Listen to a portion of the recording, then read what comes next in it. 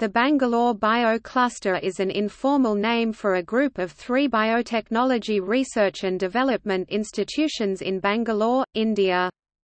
The three include National Centre for Biological Sciences Centre for Cellular and Molecular Platforms Institute for Stem Cell Biology and Regenerative Medicine